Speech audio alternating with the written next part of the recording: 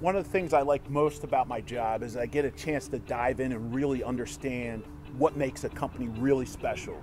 I'm here with Justin, actually the designer and architect behind yes, many of the Lisk landscaping award-winning uh, landscapes that are done. Yes, sir. Uh, you should be really proud of what you're doing. I have my moments uh, of pride. yeah, people are online talking about you. Yep. I, I was really excited to come out and meet you. I've been out to some of your jobs what I've noticed is, is the care and the detail and the functionality of your landscapes. How important yes, is that to you? Uh, it's very important to me. I mean, we meet these customers on a personal level. I meet with them face to face and I get an idea of what they're about, what they like as far as colors, growth patterns, um, and it all depends on the area as well. It depends on if it's a tree covered area, if uh, there's water drainage that we have to address beforehand. There's a lot of things that go into it and I love to tell my customers that we love to know every little detail that's going to go into this job before we ever stick a shovel in the ground. I'm standing with Steve Lisk from Lisk Landscaping. So we meet a lot of different landscapers, and I really don't see many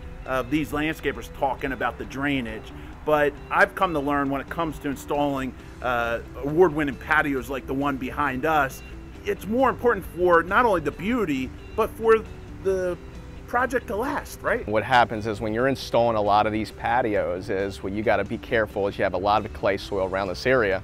And over time with these bad storms and rains and these winters we're having, a lot of these patios will sink, they'll lift up, they'll settle, and you want to make sure you actually redirect this water around and away from the home. And that's where we kind of come in and integrate uh, downspouts, French drain systems. That's going to help the overall landscaping. When you have a professional landscaper like Lisk mm -hmm. on the job designing, uh, if you're getting water in your basement and some of these other concerns, your team's taking all this into account in regards to how you're yeah. grading everything for, for the home itself. Yes, absolutely. And, and it's a process that starts with the design phase, and that's the biggest thing. So we account for all of that. You know, when we first come out, we're always looking at the gutters, how the water runs off, the pitch of the yard. If there's going to be any problems ahead of time, we always address them. Same thing with the irrigation system.